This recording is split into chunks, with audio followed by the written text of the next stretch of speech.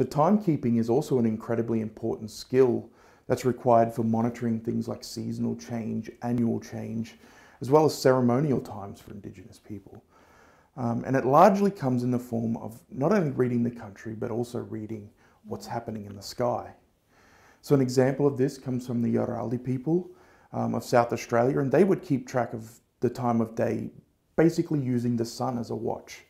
So they split the, the sun's path up into seven chunks. So they had before sunrise, then there was sunrise, then they had after sunrise, middle of the day, afternoon, sunset, and night.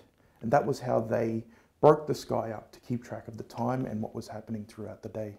So material items and things like rock art were also really useful in measuring time across multiple timescales. So rock art, for example, this is something that has been found all over Australia and it's something that's really highly regarded uh, by Indigenous communities. Rock art is a way for people to connect uh, to the dreaming.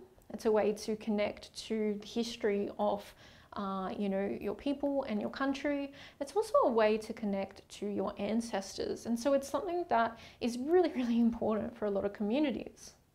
It's also really useful for storing really useful and practical information such as timekeeping.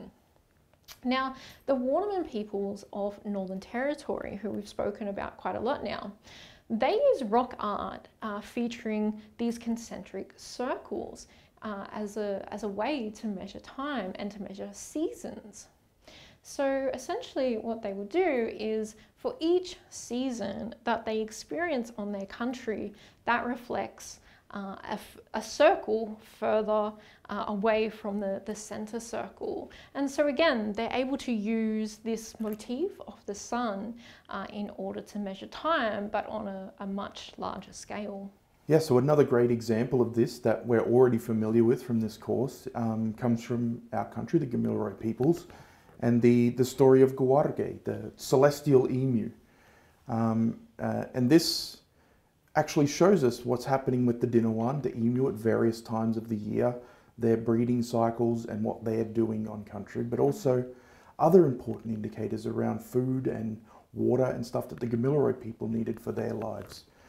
And there's also ceremonial aspects that are tied to this constellation as well. So many important aspects all across our culture and our, and our way of living that are embedded within this story.